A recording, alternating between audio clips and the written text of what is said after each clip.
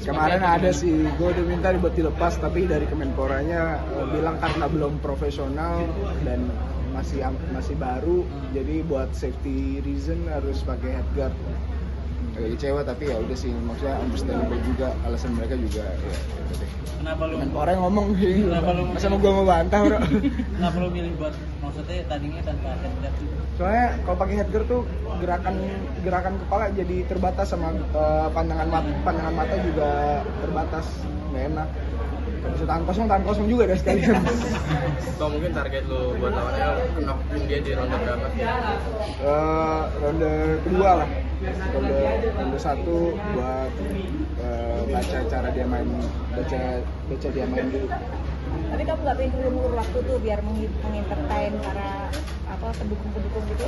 El tidur juga udah kayak entertain sih paling tidur ya nanti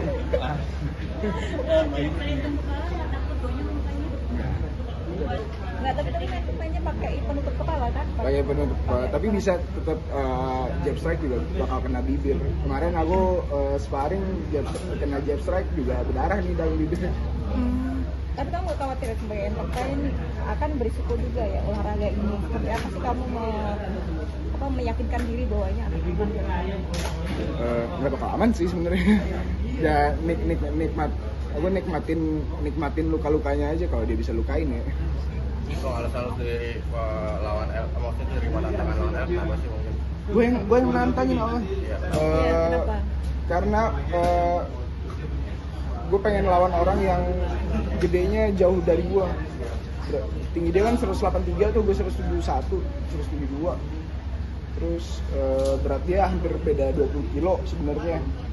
Gue cuma gue cuma naikin uh, ke tengah-tengah dia juga nurunin ke tengah-tengah. Dan bakal jadi uh, statement. Pertandingan ini bakal jadi statement statement gue sendiri sih. Maksudnya dari kemarin kan dibilang oh berantemnya sama yang nggak bisa berantem. Berantemnya sama yang badannya kecil yang nggak pernah olah- olahraga. Nih gue lawan L nih sekalian nih. Jadi Kan ada latihan Jadi, iya, Wajib jadi- dari lo. ada latihan ada atau persiapan juga latihan.